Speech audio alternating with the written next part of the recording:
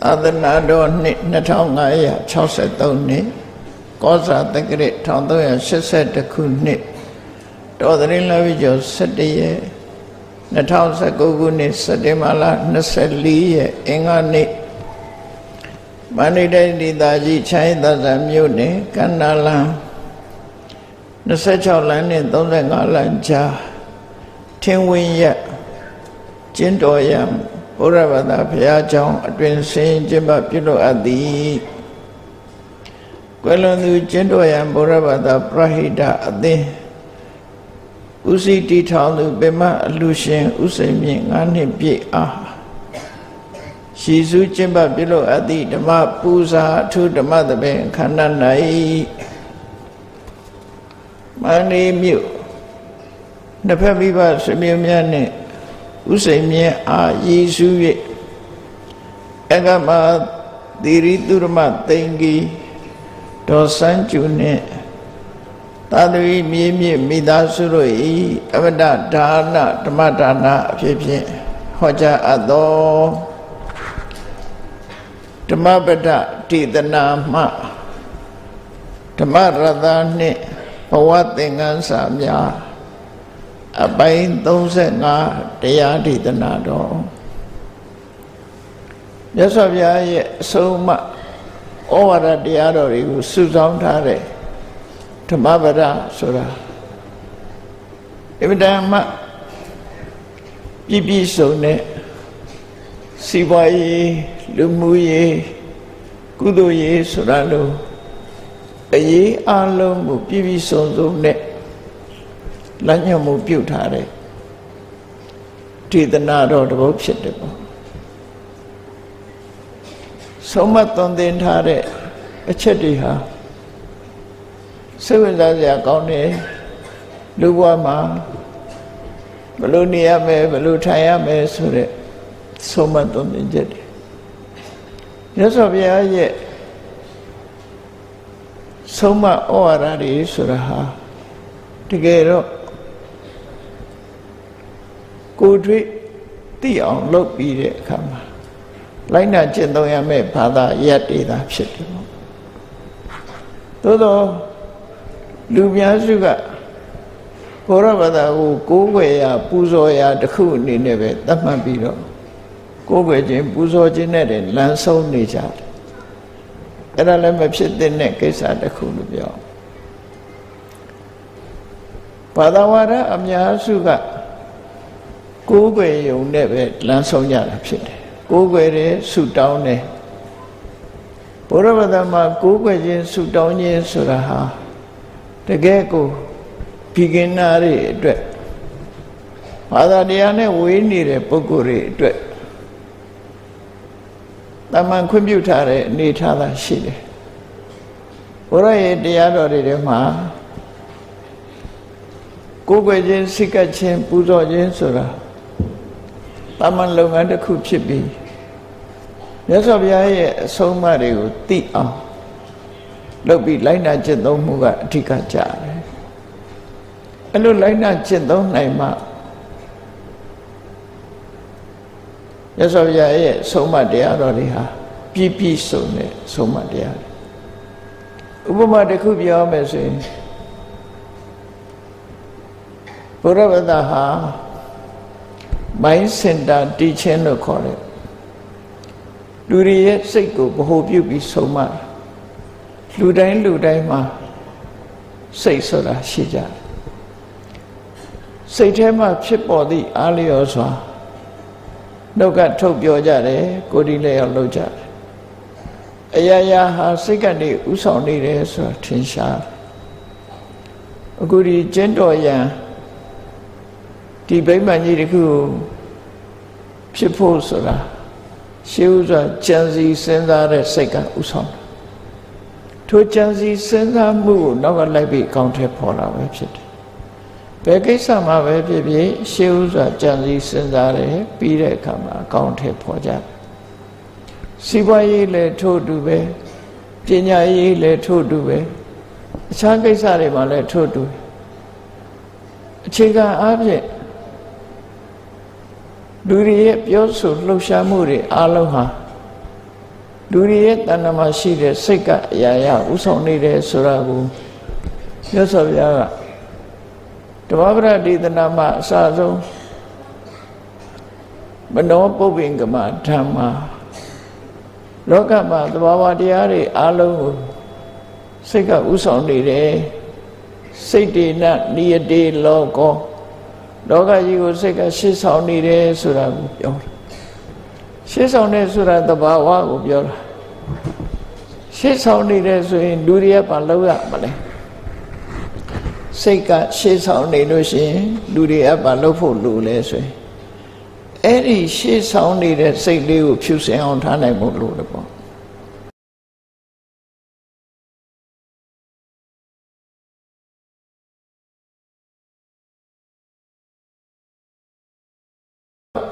ရှေ့ဆောင်တဲ့စိတ်ကိုကောင်းအောင်ကြိုးစားပေးခြင်းအပြင်နောက်ဆက်တွဲဖြစ်ပေါ်လာမဲ့အကျိုးဆက်တွေကောင်းနိုင်တယ်လို့သူတို့ဆိုတာနော် ကိုကြံတွေးလိုက်တဲ့အတွေးတစ်ခုဟာကောင်းကျိုးကိုဖော်ဆောင်မဲ့အကြောင်းအရာလားသို့မဟုတ်ဆိုးကျိုးကို ဖြစ်ပေါ်စေမဲ့အကြောင်းအရာလားလို့ဆိုတာလူရဲ့စိတ်ထဲမှာဖြစ်ပေါ်နေတာအဲ့ဒီဖြစ်ပေါ်မှုအခြေခံကိုစိတ်ထဲမှာမကောင်းတာတွေးမိရင်အဲ့ဒီအဆင့်မှာပြောင်းလဲရမယ်ကောင်းတာနဲ့စားထုတ်နေ ကောင်းတာတွေးမိလို့ရှင်လည်းကောင်းတဲ့လုပ်ကိုဆက်လုပ်အဲ့တော့ကောင်းမကောင်းဆိုတာဘာကိုပြောတာလဲကြိုက်မကြိုက်ပြောတာလားကြိုက်မကြိုက်နဲ့ကောင်းမကောင်းဟာနှမျိုးရှိတယ်နော်အစာအာဟာရလိုပဲလောကလူတွေကကိုကြိုက်ရင်ကောင်းတယ်လို့သတ်မှတ်ကြတယ်ကိုမကြိုက်ရင်မကောင်းဘူးလို့သတ်မှတ်တယ်ကြိုက်ခြင်းမကြိုက်ခြင်းနဲ့မဆိုင်ဘူးကောင်းမကောင်းခြင်းဟာအကျိုးဖြစ်ထွန်းမှုနဲ့ ပဲပတ်သက်တယ်ပေါ့အကျိုးဖြစ်ထွန်းမှုနဲ့ပဲပတ်သက်တယ်ဥပမာယောဂဝိရဏဖြစ်နေတယ်ကိုတောင်းရတဲ့ဆေးကဆေးကားဖြစ်ခြင်းဖြစ်မယ်ဆေးကြိုဖြစ်မယ်ကိုကကြိုက်တာအချိုးဆေးကြိုနဲ့ကိုကမတည့်ဘူးဆေးကားကိုတောင်းအောင်မယ်ဆိုအခါပဲတောင်းတော့ကြိုက်မကြိုက်နဲ့မဆိုင်ဘူးယောဂပြောင်းမှုမပြောင်းမှုနဲ့ပဲပတ်သက်တယ်အရာရာမှာအဲ့ဒီသဘောတရားကို စဉ်းစားနားလည်ထားပြီးမြတ်စွာဘုရားရဲ့အဆုံးအမတွေနဲ့ပတ်သက်ပြီးသိရှိသဘောပေါက်ကြမှာပဲဖြစ်လောကလူတွေဟာကိုကြံတွေးတဲ့စိတ်ကိုအကောင်းဆုံးခွဲခြားနိုင်ခြင်းမရှိသည့်အတွက်ကြောင့်မကောင်းတဲ့စိတ်နဲ့ပြောလိုက်မယ်မကောင်းတဲ့စိတ်နဲ့လှုပ်လိုက်မယ်ဆိုရင်ဆိုးကျိုးတွေကနောက်ကတတိတဲ့တတိကြီးလိုက်လာတတ်တယ်ပေါ့ ကောင်းတဲ့စိတ်နဲ့ပြောလိုက်မယ်ကောင်းတဲ့စိတ်နဲ့လှုပ်လိုက်မယ်ဆိုရင်ကောင်းကျိုးချမ်းသာတွေကနောက်ကတတိကြီးလိုက်ပါလားအဲ့တော့ကောင်းကျိုးဆိုးကျိုးဆိုတာကိုကိုဟာကြိုတင်ပြီးတော့သိဖို့လိုအပ်တယ်အဲ့ဒါလို့သိဖို့မြတ်စွာဘုရားဆုံးမတယ်အဲ့ဒါကိုပြောတာ mind center teaching စိတ်ကိုဗဟိုပြုပြီးဆုံးမတယ်တခြားဘာသာတရားတွေကတော့ဘာလဲဆုံးမတော့ဆိုရင် God center teaching ဘုရားသခင်လို့ပြောကြတဲ့ကောင်းကင်ဘုံကတကိုးရှင်နတ်ကိုခေါ်ခေါ်ဆိုတဲ့ဘုရားကြိုက်တယ်မကြိုက်ဘူးဆိုတဲ့ပုံမှာဆုံးမတာဖြစ်တယ်ဒါဘုရားမကြိုက်ဘူးဖန်ဆင်းရှင်ကြီးကမကြိုက်ဘူးဆိုရင်မလုပ်အောင်ဖန်ဆင်းရှင်ကြီးကကြိုက်တယ်ဆိုရင်တော့ပြောမရတဲ့ကိစ္စတွေမှာဘုရားသခင်ရဲ့အလိုတော်ချဆိုပြီးနေကြတယ်ဒါကတခြားဘာသာတွေမှာ အလုံးဟာဘုရားသခင်လူတော်ချနဲ့လူတွေကိုဆုံးမတာပဲဖြစ်တယ်ဘုရားဘာသာမှာကွဲပြားခြားနာတာအဲ့ဒီဘုရားသခင်လူတော်ချဆိုတာမပါဘူး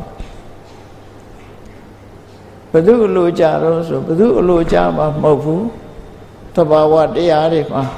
ကောင်းတာနဲ့မကောင်းတာတကူတည်းရှိပြီးသားအဲ့ဒါကိုသိအောင်လုပ်ပြီးတော့လူတိုင်းရဲ့စိတ်ဟာ ဖြူစင်တဲ့အခါရှိတယ်မဖြူစင်တဲ့အခါရှိတယ်ဖြူစင်တဲ့စိတ်နဲ့ပြောလိုက်လှုပ်လိုက်မယ်ဆိုရင်ကောင်းကျိုးချမ်းသာတွေရတယ်မဖြူစင်တဲ့စိတ်နဲ့ပြောလိုက်လှုပ်လိုက်မယ်ဆို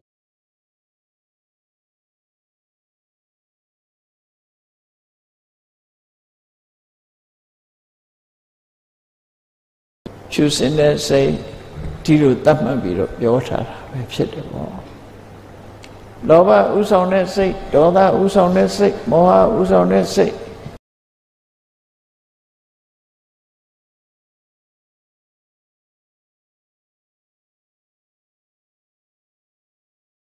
အချင်းအကြောင်းပဲဖြစ်တယ်။ဟောကိုလုံးလိုက်တဲ့အလုပ်တစ်ခုကတစ်ဖက်သားကိုထိခိုက်သွားရင်တစ်ချိန်ကျရင်ကိုယ်ပြန်ထိခိုက်တယ်တရား။ကိုလုံးတာ တစ်ဖက်သားမှာဘလောက်ထိခိုက်သွားတယ်ဆိုတဲ့အချက်ပေါ်မှာမူတည်ပြီးအဲ့ဒီထိခိုက်မှုမျိုးဟာဘယ်ပုံပဲနည်းနဲ့ကိုယ်စီရောက်လာမှမသိပဲနဲ့ရောက်လာတတ်တယ်။အဲ့ဒါကိုကန္တမရဲ့အကျိုးလို့ပြောတာနော်။ကိုလုံးလိုက်လို့တစ်ဖက်သားဟာကောင်းစားပြီးတော့စိတ်ချမ်းသာသွားလို့ရှင်လေအဲ့တစ်ဖက်သားရရှိသွားတဲ့စိတ်ချမ်းသာမှုမျိုးဟာကိုယ်စီပဲပြန်ရ အလုံးလျောက်ကိုမှသူများကိုဆင်ပြေအောင်ကူညီထားတဲ့ပုဂ္ဂိုလ်တယောက်ကိုကြတော့လဲဆင်ပြေဖြစ်နေတတ်တယ်ဒါဒီလွတ်ဆောင်မှုဆိုတဲ့ကံတရားရဲ့အကျိုးပဲဒီကြားထဲမှာဘယ်သူမှအမိန်ပေးပြီးဖော်ဆောင်နေတာမဟုတ်ဘူးကံကြမ္မာကပဲဖော်ဆောင်ပေးတယ်တဘာဝတရားပဲဖော်ဆောင်ပေးတယ်ဩစတြေးလျမှာရှိတဲ့ဘူမရင်ဆိုတဲ့လက်နဲ့ ပြစ်တတ်တဲ့လူကပြစ်လိုက်လို့ရှိရင်အဲ့ဒီလက်နဲ့ကကိုယ်စီပြန်ရောက်လာတယ်နော်အဲ့ဒီလက်နဲ့ကကိုယ်စီပြန်ရောက်လာတယ်လို့ပဲကံကြမ္မာဆိုတဲ့သဘောတရားဟာကိုယ်ကကောင်းတာလို့ရင်လဲတစ်ဖက်သားရသွားတယ်ကောင်းကျိုးသည်ကိုယ်စီပြန်ရောက်လာတယ်ကိုကမကောင်းတာလို့လို့တစ်ဖက်သားရရှိသွားတဲ့ဆိုးကျိုးဟာလည်းကိုယ်စီပြန်ရောက်လာတတ်တယ်ဒီသဘောတရားဟာမလွဲမသွေ ရှိလာတယ်လို့တို့ဆိုလို့အဲ့တော့မြတ်စွာဘုရားကဟောတာကံကံဤအကျိုးတရားကိုဟောတယ်ဘုရားဘာသာဖြစ်ဖို့အရေးကြီးဆုံးဘာတုံးလို့မေးလို့ရှိရင်ကံတရားကိုလက်ခံခြင်းပဲဖြစ်တယ်ကံတရားဆိုတာဘာကြောင့်လက်ခံရတာတော့ဆိုကောင်းတဲ့စိတ်မကောင်းတဲ့စိတ်ဖြူစင်တဲ့စိတ်နဲ့ညင်နွမ်းတဲ့စိတ်ကဘယ်သူစီမှာဖြစ်တုံဆိုကိုယ်တဏ္ဍမှာပဲဖြစ်တယ် ကိုယ်တဏ္ဍမှာဖြစ်ရင်ကိုယ်နဲ့ပဲသက်ဆိုင် responsible ဆိုတာကိုလွတ်တာကိုယ်နဲ့ပဲသက်ဆိုင်တယ်ဆိုတဘာဝကြကိုစားတဲ့အစာသည်ကိုယ်ပိုက်ကိုယ်ဝန်နဲ့ရောက်သွားရင်ကိုယ်ပဲဒီကောင်းခြင်းမကောင်းခြင်းဆိုတာဒီအစာကြောင့်အကျိုးသက်ရောက်မှုကဖြစ်မှာသိချာဆေးတောက်လိုက်လို့ယောဂပျောက်ခြင်းမပျောက်ခြင်းဆိုတာလည်းပဲကိုတောက်တဲ့ဆေးနဲ့တောက်တဲ့လူမှာအကျိုးသက်ရောက်မှုဆိုတာဖြစ်တာ ကံတရားဆိုတာအဲ့လိုကိုလောက်တာကိုနဲ့သက်ဆိုင်တယ်လို့ responsibility ဆိုတဲ့အဲ့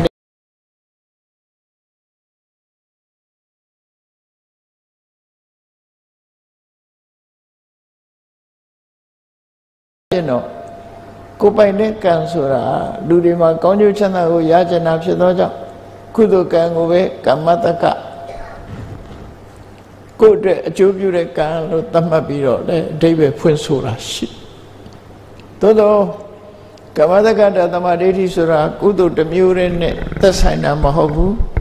ကုသိုလ်နဲ့လည်းသက်ဆိုင်တယ်အကုသိုလ်နဲ့လည်းသက်ဆိုင်တယ်ကောင်းကံမကောင်းကံနှမျိုးလုံးပဲသက်ဆိုင်တယ်အဲသက်ဆိုင်သည့်အတွက်ကြောင့်ကမ္မတက္ကတသမဒိဋ္ဌိဟာကုသိုလ်ပဲဖြစ်ဖြစ်အကုသိုလ်ပဲဖြစ်ဖြစ် ကိုလုထာကိုရတယ်ဆိုတဲ့အဓိပ္ပာယ်ပဲမှတ်ယူရမှာပဲဖြစ်တယ်ဘုရားဘာသာဖြစ်ဖို့အမှန်မြင်ခြင်းလို့ဆိုတဲ့ကမ္မတက္ကတသမဒိဋ္ဌိအခြေခံရှိရမယ်မြတ်စွာဘုရားကိုယ်တိုင်ကကမ္မဝါဒီကရိယာဝါဒီကောင်းတာဆိုတာဟာလုပ်လို့ရတယ်ကောင်းတာဆိုတာရဲ့အကျိုးရှိတယ်လို့ဟောပြောလို့ရှိ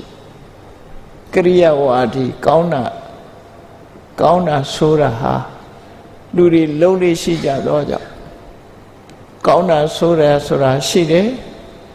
ကောင်းတာဆိုတာဆိုတာလဲလူတွေရဲ့တဏ္ဍမှာဖြစ်တယ်အဲ့ဒီအကောင်းအဆိုးတို့ရဲ့အကျိုးတရားဟာလည်းပဲလူတွေရဲ့တဏ္ဍမှာဖြစ်တယ်လို့အဓိကအခြေခံအားဖြင့်ကမ္မဝါဒနဲ့ကရိယာဝါဒကိုဟောပြောတယ်မြတ်စွာဘုရားနဲ့ခစ်ပြိုင်ပေါ်လာတဲ့ ပုရဏကတ္တဝါတို့ဆိုတဲ့ဝါဒရှင်တွေကကုသိုလ်အကုသိုလ်ဆိုတဲ့လူတွေရဲ့တဏ္ဍမှာဖြစ်တဲ့အကောင်းချင်းဆိုခြင်းကိုအသိမှမပြုအကောင်းဆိုးကိုအသိမှမပြုသူတို့ကတိတိပပညင်းွယ်ထားတယ်နတ္ထိပုံညာနတ္ထိပပလူတွေက ကောင်းတာလုပ်တယ်ဆိုတဲ့ကုသိုလ်ဆိုတာလည်းမရှိဘူးမကောင်းတာလုပ်တယ်ဆိုတဲ့အကုသိုလ်လည်းမရှိဘူးလို့ညင်းတယ်အဲ့လိုညင်းအောင်မြတ်မကနတ္ထိပုံညတအာဂမော ကောင်းတာလုပ်လဲဘာအကျိုးမှမရဘူးနတ္ထိပပတ္တအာဂမောဆိုးတာလုပ်လဲဆိုးကျိုးမရဘူးလို့ကံကံဤကျိုးညင်းပေတဲ့ဝါရထူထောင်ဟောပြောခဲ့တာဖြစ်တယ်။လွန်ခဲ့တဲ့နှစ်ပေါင်း2600ကျော်က အိန္ဒိယနိုင်ငံမှာဟောတာခဏိခေတ်လည်းအဲ့ဒီဝါရကိုလက်ခံတဲ့လူတွေရှင်းမှာမြတ်စွာဘုရားကတော့ဒီလိုမဟုတ်ဘူးအဋ္ဌိပုံညာအဋ္ဌိပပံကုသိုလ်ဆိုတာရှိတယ်အကုသိုလ်ဆိုတာရှိတယ်အဋ္ဌိပုံညတအာဂမော ကုသိုလ်ရဲ့အကျိုးတရားဆိုတာရှိတယ်အဋ္ဌိပပတ္တအာဂမောအကုသိုလ်ရဲ့အကျိုးတရားဆိုတာရှိတယ်လို့တိတိကျကျဟောထားပြီးကံကံဤအကျိုး ရှင်းလင်းပြတ်သားစွာဟောကြားရတာဖြစ်တယ်ဒီကနေ့ဓမ္မပဒဒေသနာမှာဟောထားတဲ့မြတ်ဗုဒ္ဓရဲ့အဆုံးအမစကားလေးကိုရှင်းဥစွာနာယူကြည့်အောင်မြတ်စွာဘုရားကဘာဟောလဲဆိုရှင်းရှင်းလေးပဲမြတ်စွာဘုရားဟောတာလေယထာပိပုပ္ပရာသိမက yi ရာမာလာခုနေပဟု ဧဝံဇာတေနမစ္စေနကတ္တဗံကုသလံဘောမြတ်စွာဘုရားဟောတော့ကပါဠိဘာသာလို့ခေါ်တယ်အိန္ဒိယနိုင်ငံမှာရှေးတုန်းကသုံးခဲ့တဲ့ဘာသာစကားတစ်ခုပေါ့အဲ့ဒီဘာသာစကားဖွံ့ဖြိုးတိုးတက်လာပြီးဖះဖះဟောတဲ့အဓိပ္ပာယ်တွေကိုမှတ်တမ်းတင်တဲ့အခါဒါပါဠိဘာသာဆိုပြီးဒီပါဠိဘာသာဟာဒီကနေ့ဘယ်မှာထွန်းကားတော့ဆိုမြန်မာနိုင်ငံမှာထွန်းကား စတင်ပေါ်တော့ကတော့အိန္ဒိယနိုင်ငံမှာပေါ်တယ်သို့တော့အိန္ဒိယနိုင်ငံအလူတွေကပါဠိနဲ့ဆင်ဆင်တူတဲ့တက္ကဒဘာသာကိုသုံးတယ်နားလောက်အောင်ချင်းညုပ်ပြောရမယ်ဆိုလို့ရှိရင်တက္ကတနဲ့ပါဠိနဲ့ဟာတူတာလေးတွေရှိတယ်ကမ္မကိုသူတို့ကကရမလို့ဖတ်တယ်ဗမာကပါဠိဘာသာမှာကမ္မသူတို့ကကရမ ဓမ္မကိုပါဠိကဓမ္မလို့ဖတ်ပေမဲ့ပါဠိဘာသာကဓမ္မလို့ဖြစ်ပေမဲ့တက္ကရာကျတော့ဓမ္မဆိုဖြစ်သွားတယ်အဲ့ဒီလိုကွဲပြောင်းဝိဇ္ဇာလို့ပါဠိကဆိုတဲ့အခါမှာသူတွေကဝိဒိယလို့ပြောတယ်နော်ကျောင်းနေပါတွေကိုသူတို့စီမှာအိန္ဒိယဝေါဟာရနဲ့ပြောရင်စာသင်ကျောင်းကိုဝိတ္တယ လက်ရလို့ခေါ်တယ်ပမာဒနဲ့ပြောမယ်ဆိုရင်ဝိဇ္ဇာလက်ရလို့သူဆိုလိုတယ်နော်ဝိဇ္ဇာလက်ရသူတို့ကြတော့ဝိတ္တယလက်ရလို့ပြောလိုက်တယ်ကောလိကြတော့မဟာဝိတ္တယလက်ရမဟာဝိဇ္ဇာလက်ရတက္ကသိုလ်ကြတော့ဝိဆွဝိတ္တယလက်ရဝိဆွဆိုတာအလုံးပညာရအလုံးကိုသင်ကြားတဲ့နေရာလို့ဒီလိုဆိုလိုတယ်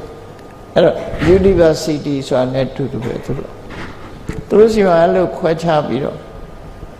ဒေသဘာသာအနေနဲ့ခေါ်တာဖြစ်တယ်အဲ့တော့ပါဠိနဲ့တော်တော်စင်စင်တူတယ်အိန္ဒိယစကားနော်ပါဠိနဲ့စင်စင်တူတယ်အိန္ဒိယသွားတဲ့အခါမှာနည်းနည်းသတိထားကြည့်ဓာတ်စီဆိုင်ကိုဓာတ်စီဝင်ထည့်လို့ရှိရင်သူတို့အခရာနဲ့ရေးထားတဲ့စကားလုံးကသူတို့တိုင်းရင်းစာနဲ့ရေးထားတယ် ဘယ်လိုရေးထားတော့ဆိုဒုမရပါဏနိစေတံလို့ရေးထားတယ်သူနော်ဒုမရပါဏဆိုတာဒုမပါဏအခိုးတောက်ခြင်းလို့အဓိပ္ပာယ်ရတယ်အခိုးတောက်တယ်လို့ခေါ်တယ်ဆေးလိပ်တောက်တာနော်မိကိုရှူရှိုက်တာပဲလေဒါကြောင့်မို့ဒုမပါဏပါဠိကျတော့ဒုမပါဏသူတို့ကျတော့ဒုမရပါဏအဲ့လိုတောင်းတယ် နိစေရန်ဆိုတာနိတိတနာတားမြစ်တယ်ဆိုတဲ့အဓိပ္ပာယ်ဆိုလိုတာကဗမာပြည်ကျတော့ဆေးလိပ်မတောက်ရလို့ရေးတယ်နော်အင်္ဂလိပ်လို no smoking လို့ရေးတယ်ဟာအိန္ဒိယနိုင်ငံမှာဒုမရပါဏနိစေရန်လို့ရေးတယ်အဲ့ဒီဓာတ်စီဆိုင်တွေကိုသွားကြည့်ရင်တတိထားကြည့်အဲ့တိုင်ရေးတယ်သူတို့အခရာနဲ့ဒုမရပါဏနိစေတနဲ့နော်အခိုးမတော့ရအခိုးတံကိုမတော့ရဆိုဆေးလိပ်မတော့ရလို့ပြော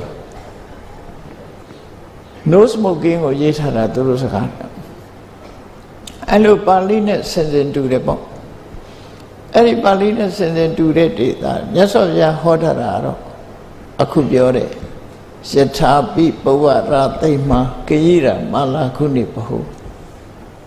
ခေါင်းဘုရားဘာသာဝင် သူတော်စင်တွေဆိုသွားကြတယ်ပါဠိပဲနမောတတဆိုတယ် ဗုဒ္ဓံတရဏဂိသမိဆိုတယ်ပါဏာတိပတ္တဝေရမဏိသိခာဝရံသမာရိယာမိဆိုတယ်ဒါပါဠိဘာသာလို့ခေါ်တယ်အဲ့ဒီပါဠိဘာသာကိုပဲအတန်ဒရက်တစ်မျိုးနဲ့သိဖို့ကြတော့ဆိုပြန်တယ်အဲ့ဒီအတန်ဒရက်ကလည်းအထူးဆန်းမဟုတ်ဘူးအခရာငါးလုံးပဲကြွပြချနာတယ်ကျန်တာအထူးတူပဲနော်အခရာငါးလုံးပဲမှတ်ထားဖို့လိုတယ် စာလုံးစာလေးစာခွဲစာမြင့်ဆွဲကိုပမာကစစစစဖတ်တယ်။ဒါကြတော့တလို့ပဲဖတ်တယ်။အေး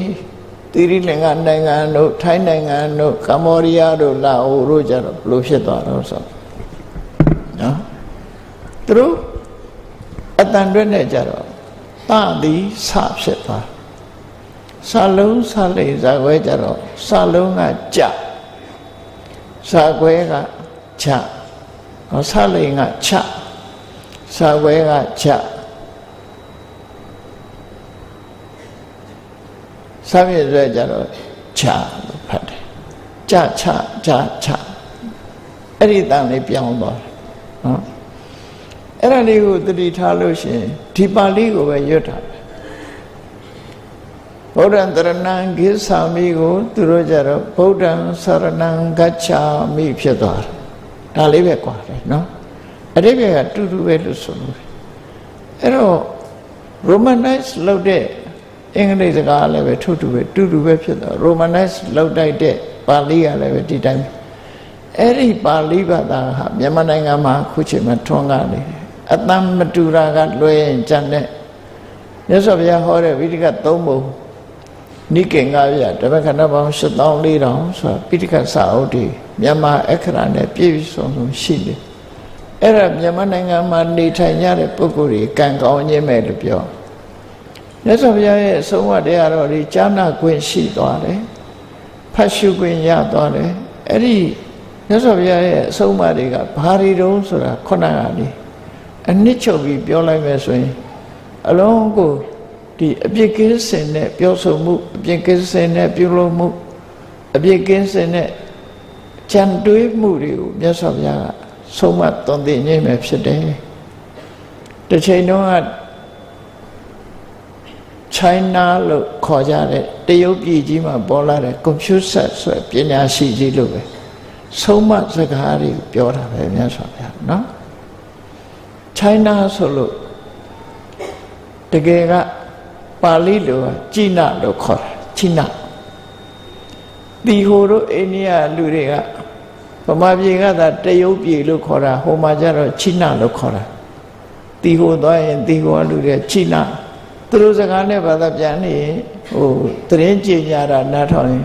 တရုတ်ပြည်အကြောင်းပြောရင်ချိနေချိနေနဲ့ပါလဲအဲ့ဒါတရုတ်ပြည်အကြောင်းပြောနေတာသတင်းတွေ့တဲ့အခါနော်အဲ့ဒီ မြန်မာလူကြတော့စိနရထစိန်တိုင်းဆိုပြီးရှေ့တော့သုံးခဲ့ဘူးတယ်လေ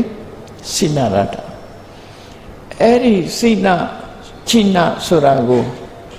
အင်္ဂလိပ်ကအတန်တွက်မှားပြီးတော့ China လို့ဖတ်လိုက်လို့အခုက China ဖြစ်သွားတာအမှန်တော့သူမမမကန်လှုပ်သွားတယ်လို့ပြောရမှာမမမကန်လှုပ်သွားတာအဲ့ဒါမှန်တာမဟုတ်ဘူးသူသူ့အတန်တွက်နဲ့သူဖတ်သွားလိုက်တာမှားသွားတယ် တကယ်ကတော့ပါဠိစကားနဲ့တူတူပဲချိနချိနရထသူသုံးတာအဲ့ဒါလိုပဲအိန္ဒိယတောင်ပိုင်းမှာရှိတဲ့ကျွန်းပေါက်စာလေးတစ်ခုရှိတယ်နိုင်ငံလေးတစ်နိုင်ငံရှိတယ်မာလာဒီပလို့ဆိုတဲ့ကျွန်းနိုင်ငံလေးကိုမာလတိလို့ဒေသကခေါ်တာမာလာဒီပဒီပကဒီမာလတိအဲ့ဒီမာလတိကို အင်္ဂလိပ်ကဖတ်လိုက်တဲ့ကမော်လဒိုင်းဖြစ်သွားတယ်ဒါလည်းသူမှားဖတ်တာအင်္ဂလိပ်ဖတ်တိုင်းမှန်တယ်လို့မထင်ကြလေနဲ့သူဖတ်လိုက်တာနဲ့အကုန်လုံးမော်လဒိုင်းဖြစ်ကုန်ရောဗမာပြည်ကလည်းပဲအိန္ဒိယနိုင်ငံမှာကြည့်မြန်မာကိုသူတို့ဘယ်လိုခေါ်တာတော့ဆိုဗြဟ္မလို့ခေါ်တယ်ဗြဟ္မဆိုတာဗြဟ္မပဲ ဗြဟ္မဝိဟာရတို့ဗြဟ္မာတို့ရေးတဲ့စကားလုံးပဲဗြဟ္မဘာကြောင့်လို့ဆိုရင်မြန်မာနိုင်ငံဟာသူတို့အိန္ဒိယနိုင်ငံအတန်တို့မဏိပူတို့နားမှာဘာရှိတော့ဆိုဗြဟ္မပုတ္တရမြစ်ဆိုတာရှိတယ်အဲ့ဒီဗြဟ္မပုတ္တရမြစ်ရဲ့ဒီဘက်ကဒေသမှာမွေလို့ဗြဟ္မလို့ခေါ်လိုက်တာအင်္ဂလိပ်လက်ထက်တုန်းက အိန္ဒိယနိုင်ငံရဲ့အစိတ်ပိုင်းတစ်ခုဖြစ်မြန်မာနိုင်ငံကိုတွဲဖက်ပြီးတော့ထားတာအဲ့ထားတော့ကမြန်မာနိုင်ငံကိုဘယ်လိုခေါ်တော့ဆိုဗြဟ္မဒေရှလို့နော်ဘင်္ဂလားဒေရှဘင်္ဂလားဒေရှခေါ်တယ်လို့ပဲဗြဟ္မဒေရှလို့ခေါ်တယ်အခုအိန္ဒိယနိုင်ငံမှာရှိတဲ့တိုင်းဒေသကြီးတွေပြောလိုက်မယ်ဆိုရင်ဥဒ္ဒပရဒေရှပရဒေရှပရိရှဆိုပရိသပဲအရပ်ဥဒ္ဒပ ရဒေရှဒီလိုသုံးတာနော်အန္ဒရာပရဒေရှဒီပါဠိဘာသာစကားပဋိသဆိုတဲ့စကားနဲ့သုံးပြီးတော့မြန်မာလူမျိုးတွေကြတော့ဒီဘက်ကိုဗြဟ္မာလို့ပြောပြီးတော့ဗြဟ္မတိရှနိုင်ငံလို့ခေါ်သွားတာခေါ်ထားတာနောက်လွတ်လပ်ရေးရတဲ့အခါကျတော့ခွဲရည်တွေးလုပ်ပြီးတော့မြန်မာမြန်မာကတီးတန့် မြန်မာနိုင်ငံဆိုတာမြန်မာလူဝဟာရခေါ်တာအဲ့တော့အင်္ဂလိပ်ကိုဒီနိုင်ငံကဘာနိုင်ငံတော့ဘာလူမျိုးတို့လို့ပြောတဲ့အခါအိန္ဒိယနိုင်ငံသားတွေကသူတို့အတန်တွင်ဗြဟ္မာလို့ပြောလိုက်တာအဲ့ဒီဗြဟ္မာလို့ပြောရကနေဘာမှဖြစ်လာတယ်လို့ကြံစီလို့ရတယ်ပေါ့နော်အဲ့ဒါလဲသူတို့ဖတ်မှားပြီးတော့ဗြဟ္မာလို့မပြောဘဲနဲ့ဘာမှဆိုဖြစ်သွားရဲ့ အဲ့ဒီအရင်တော့မြန်မာလို့မပြောင်းခင်တော့ဘာမှအဲ့ဒီဘာမှကိုပဲဂျာမနီရောက်တော့ဂျာမနီကလူတွေဘယ်လိုဖတ်တုံးဆိုဘောမာလို့ဖတ်တယ်ဘောမာလို့ဖတ်တယ်ဂျာမနီကဒီဟိုကလူတွေကဘယ်လိုဖတ်တော့ဆိုဘုရုမာလို့ဖတ်တယ်ဗမာကိုဘုရုမာလို့ဖတ်တာသူတို့ကအဲ့ဒီဘာမဆိုတဲ့စကားလုံးကိုအတန်တွဲဖတ်တာလေအမျိုးစုံဖတ်ကြ မျိုးစုံဖတ်တယ်ခုနကချိနာကိုချိုင်းနာလို့ဖတ်လိုက်တယ်လို့ပဲအမျိုးစုံအတန်နေထွက်ကုန်အဲ့ဒါကနေအတိဖြစ်ပြီးတော့ဖြစ်နေတာ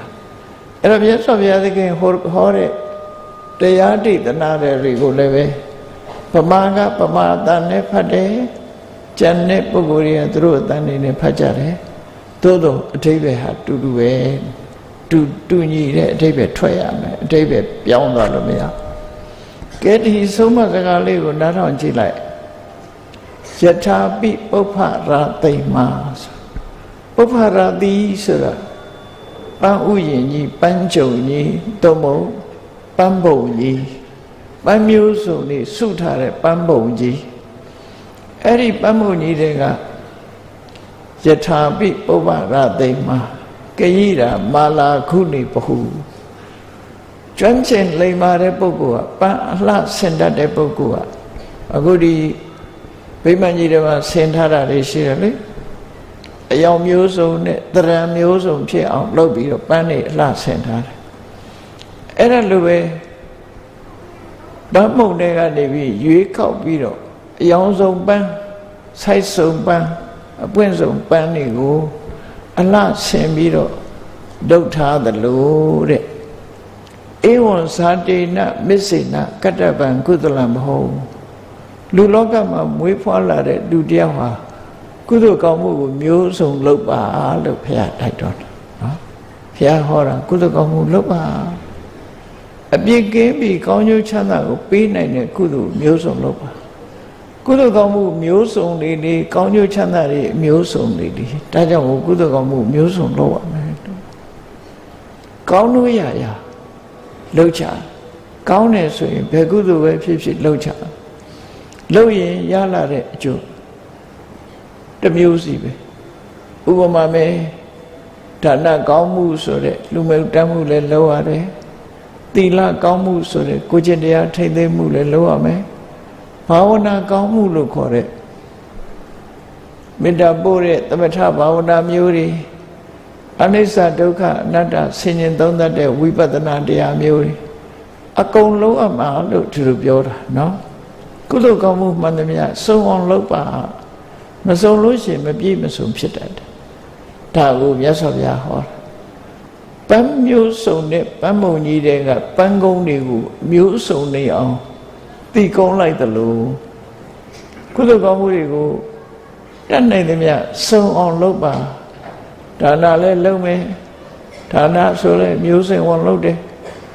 ဒါနကဘလို့အကျိုးရလို့လုပ်ကြတာတော့ဆိုလို့ရှိရင်ကိုကသူများရဲ့လိုအပ်ချက်ကိုပေးလိုက်တာပဲဖြစ်တယ်ဒါနဆိုတာတစ်ဖက်သားရဲ့လိုအပ်ချက်ကိုဖြည့်ဆွက်ပေးခြင်းပဲဖြစ်တယ်အဲ့တော့ကိုကသူများရဲ့လိုအပ်ချက်ကိုဖြည့်ဆွက်ပေးခြင်းအပြင်ကိုလိုအပ်ချက်တွေကပြည့်လာဒါဒါနအကျိုးပဲเนาะ သူများရဲ့လိုအပ်ချက်ကိုဖြည့်ဖြည့်ဆွက်ပေးလိုက်ခြင်းအပြင်ကိုယ့်ဘက်ကျတော့ကိုယ့်ရဲ့လိုအပ်ချက်တွေကပြည့်ပြည့်လာဟောဒါဒါနရဲ့အကျိုးပဲသီလဆိုတာကြတော့သူများကိုထိခိုက်နစ်နာမှုကရှောင်တယ်ဥပမာပဲသူများအသက်တထာရှောင်တယ်ဆိုတာသူများထိခိုက်တာမလုပ်ဘူးသူများဒုက္ခရအောင်မလုပ်တာအဒိဏရဏသူများပစ္စည်းထိခိုက်အောင်မလုပ်ဘူးသီလ ကာမိတုမိစ္ဆာစာရသူများရဲ့ဂုံတိတ်ခါထိခိုက်အောင်မလုပ်ဘူးဒါကုသိုလ်မုတဝါဒယုံပြင်ကနာသွားပြီးတော့မဟုတ်တာကိုဟုတ်လုပ်ပြီးတော့လိန်လေထွက်ဆိုလို့တစ်ဖက်သားထောင်တန်းကြသွားတာမျိုးမဟုတ်တာကိုဘယ်တော့မှသက်သေမလိုက်ဘူးသူတို့ဆိုလို့တယ်ပေါ့နော်မဟုတ်တာသက်သေလိုက်မိသွားပြီဆိုရင်မဟုတ်မှန်းသိရတဲ့နဲ့ပြောတဲ့ပုဂ္ဂိုလ်ဟာ ကိုယ်မတရားဆွဆွဲခံရတတ်တယ်အကျိုးပေးလာပြီဆိုလို့ရှိရင်ကိုမလုပ်ဘဲနဲ့လှုပ်တယ်လို့ပြောခံပြီးကိုကိုယ်တိုင်ထောင်တန်းကြအပြစ်ကြခြင်းခံရတတ်တယ်ဒါဝဝုဒ္ဓဘာသာကိုရှောင်းပါသူရမေတရားဆိုတော့အမတမထင်ရှားတယ်မူရနေတဲ့ပုဂ္ဂိုလ်တရားဟာကောင်းကျိုးချမ်းသာတွေကိုရအောင်ဆောင်ရွက်နိုင်တဲ့အသိဉာဏ်ဟာရောပါသွားမှာပဲဖြစ်တယ်ပေါ့ဒါကြောင့်မို့ မူရနေတာမလုပ်ဖဲနဲ့စိတ်ဓာတ်ကြည်လင်အောင်နေပြီးတော့စီးပွားဥစ္စာရှားတယ်ပညာရှားတယ်ကောင်းတဲ့လုပ်တွေလုပ်တယ်ဒီလိုလုပ်ရတာအဲ့ဒါကသီလလို့ခေါ်တယ်အဲ့တော့သီလလုပ်ခြင်းအဖြစ်သူရတဲ့တတ်တာရှောင်ခြင်းအဖြစ်ကိုရလာတဲ့အကျိုးအပါတော့ဆိုရင်ကျမ်းမာတဲ့အသက်ရှိ လူတွေကတာမန်လူတွေကတော့ကျမ်းမာဖို့ရဆူတောင်းရတယ်လို့အောင်းမေ့နေတာမဟုတ်ဘူးသူများအသက်တတ်ခြင်းကရှောင်လို့ရှိရင်ကျမ်းမာတာပဲကျမ်းမာလာမယ်အသက်ရှိမယ်တော့ကျမ်းမာတဲ့အသက်ရှိတယ်ဆိုတဲ့ဟာဒီလှုပ်ချင်းမလှုပ်ချင်းနဲ့ကံကြမ္မာရဲ့အကျိုးဟုတ်မဟုတ်ဆိုတာဘယ်လောက်ထိအောင်ထင်ရှားတော့ဆိုတာကြည့်တချို့ကမွေးလာကြတဲ့ကယောဂနဲ့တချို့ကမွေးပြီးသေသွားကြတယ် နော်တက်ကြီးမှလူဆိုတာတက်ကြီးမှသေတာကြီးမဟုတ်ဘူးမွေးပြီးတော့မမွေးခင်လည်းသေသွားတာပဲအကုသိုလ်တစ်ခုအကျိုးပေးပြီဆိုရင်တချို့လူဘဝတောင်မရောက်လိုက်ဘူးလူဘဝတောင်မရောက်လိုက်ပဲနဲ့သေသွားဆိုတော့အဲ့ဒါတွေကပါဏာတိပါဒလုအကျိုးတရားတွေလို့ဆိုချွတ်ကြတော့ကိုပစ္စည်းကိုဘလောက်ပဲသိမ့်သိမ့် အသိခံရတယ်မိလောင်တဲ့ထက်ပါသွားတယ်ရေမျောတဲ့ထက်ပါသွားတယ်ကိုရှာထားသမျှဆုံးရှုံးတယ်ဟောအရိဏတနာရဲ့အပြစ်တွေပဲကိုသိခါကင်းမဲ့ပြီးတော့လူမုံများတယ်ကာမိတုဝိဆာဆရာရဲ့အပြစ်မဟုတ်တရားဆွဆွဲခံရတယ်မုဒဝါရရဲ့အဖြစ်ပဲမွေးလာကြတဲ့ကကြောင်းတောင်းတောင်းမွေးလာတယ်နော်ဆွမ်းအနာမကြမွေးလာတယ် အော်တစ်ဆင်ဖြစ်ပြီးတော့အုံနောက်မပြေးတာမွေးလာတယ်သူရမေရရဲ့အဖြစ်တွေပဲအဲ့တော့ကိုလို့တာကိုရကြတာကြီးပဲသူပဲဖြစ်ဖြစ်တော့တန်တရားမှာကိုဟာအလွန်ကံကောင်းသည့်အတွက်ကြောင့်မျက်စိကောင်းနားကောင်းအုံနောက်အသိဉာဏ်ရှိရှိနဲ့လူဘဝရောက်လာတယ်ကောင်းတာတွေကိုရွေးချယ်ပြီးတော့လုပ်ဖို့လိုတယ်လို့ဧဝံဇာတေနမစ္စေနကတ္တပံကုသလမဟုတ် မြတ်စွာဘုရားကလူလောကမှာမွေးဖွားလာတဲ့ပုဂ္ဂိုလ်တရားအနေနဲ့ကောင်းတာတွေကိုရွေးချယ်ပြီးလုပ်ပါပန်းအလှစုံတဲ့ပန်းမုံကြီးတွေကပန်းကိုကိုတက်နိုင်သလောက်အသိဉာဏ်ရှိရှိသလောက်ပန်းကုန်းတွေပန်းအလှတွေဟာအမျိုးစုံထွက်လာတယ်အခုစိတ်ကူးစိတ်သားပေါ်မှာမူတည်ပြီးတော့ ပန်းအလှပြင်းတဲ့ပုဂ္ဂိုလ်ကြီးပြင်းတဲ့လောက်ပဲပန်းဟာလိုက်လှနေမှာပဲဖြစ်တယ်ပေါ့အဲ့ဒါလည်းပဲကုသိုလ်ကောင်းမှုကလှုပ်တဲ့လောက်ကိုမှအကျိုးပေးရဖြစ်နေမှာပဲဖြစ်တယ်ပေါ့နော်အကျိုးပေးတာအဲ့လိုဖြစ်အဲ့ဒါတွေကိုမြတ်စွာဘုရားကသိရှိလို့တိုက်တွန်းလာတာဖြစ်တယ်ဒါလောက်ကြဧဝံဇာတေနမစ္စေနကတ္တဗံကုသလံဘော လူဘဝမှာမွေးဖွာလာတဲ့ပုဂ္ဂိုလ်တရားဟာပြစ်ကင်းပြီးကောင်းကျိုးချမ်းသာရစေနိုင်တဲ့ကုသိုလ်ကောင်းမှုတွေကိုအများကြီးလုပ်ကြကြိုးစားပြီးလုပ်ကြဓမ္မကိုလိုချင်တဲ့ချမ်းသာဒုက္ခဆိုတာကုသိုလ်ကသာပေးနိုင်တယ်လို့ဒီလိုဆိုလိုတာဒီနေရာမှာတချို့ကတွေးကောင်းတွေးလိုက်မယ်ကိုရတဲ့ပစ္စည်းတွေက အမေကပေးခဲ့တာပါအဖေကပေးခဲ့တာပါမိဘလက်ထက်ကရှာထားတဲ့ပစ္စည်းတွေပါလို့ကိုကပြောကောင်းပြောလိုက်မယ်နော်ပြောကောင်းပြောလိုက်မယ်ကိုကိုယ်တိုင်စူးစမ်းအထောက်လို့ချမ်းသာလာတာပါလို့ပြောလို့မရဘူးလားဆိုရတယ်သို့တော့ရှာတိုင်းရရလားပေးတိုင်းရရလားချီပေါ့နောက်ဆုံးမှာနေ့စဉ်နဲ့မြတ်မန္တလေးမှာဆိုရင်လူလောကထဲမှာလူအသစ်တွေမွေးဖွားနေကြတာဖြစ်တယ် အဲမွေးဖွားနေတဲ့လူတိုင်းဟာပြည့်စုံတဲ့မိသားစုကိုရောက်လာတာဟုတ်ကဲ့လားမိသားစုတိုင်းဟာချမ်းသာသလားဆိုဆင်းရဲတဲ့မိသားစုတွေအများကြီးပဲနေကြအိမ်မရှိဘူးစားစရာအပိုးမရှိဘူးဝတ်စရာအပိုးမရှိဘူးနော်တနေ့လုံးကတနေ့စားတဲ့အနေထားမျိုးအဲ့ဒီမိဘထံရောက်သွားတဲ့လူတွေကလည်းအများကြီးပဲအများကြီးအေးတထေးအိမ်ရောက်လာတဲ့ပုဂ္ဂိုလ်တွေကလည်းအများကြီးရှိတယ် အဲ့ဒီမှာတေချာတွက်ကြည့်လိုက်လို့ရှင်ဆင်းရဲတဲ့မိဘချမ်းသာကြွယ်ဝတဲ့မိဘတွေမှာသာသမီထွန်းကားတာဆင်းရဲတဲ့မိဘအိမ်မှာရောက်တဲ့လူတွေများတယ်ချမ်းသာတဲ့မိဘအိမ်ကျတော့တယောက်မှရောက်မလာလို့မွေးတောင်မွေးစားနေရတယ်နော်ဖြစ်တတ်တယ်ပေါ့အဲ့ဒါဘာကြောင့်လို့ဆိုရင်ဘယ်သူကပို့လိုက်တာတခြားဘာသာတွေသွားမေးရင်တော့ဘုရားသခင်ကပို့တယ်လို့ပြောနော် ဘုရားသခင်ကပြုတ်ပို့တယ်လို့ပြောမယ်ဆိုရင်အဲ့ဒီဘုရားသခင်ဟာအပြစ်တင်ခြင်းခံရမှာပဲကြီးလာတဲ့လူတယောက်ကငါတို့ကြတော့ချမ်းသာတဲ့အိမ်မပို့ဘူးငါတို့ကြတော့ဆင်းရဲတဲ့အိမ်ပို့တယ်အတော်မကောင်းတဲ့ဘုရားသခင်လို့ပြောကြမှာပဲလေအဲ့တော့ဘယ်သူမှပို့တာလည်းမဟုတ်ဘူးကိုလုံးခဲ့တာကိုရကြတာမြတ်စွာဘုရားကဟောတယ်ဒါနတမ္မုဒါနိဘောဂနိ လူတွေရရှိစားတဲ့စီစဉ်ဥစ္စာတွေဟာဒါနကောင်းမှုကြောင့်ရတာလို့မြတ်စွာဘုရားအတိလဲဟောတာကိုလုထာတွေကိုရကြတာပဲဒီဘဝမှာချမ်းသာကြွယ်ဝတယ်ဆိုပုဂ္ဂိုလ်တွေဟာ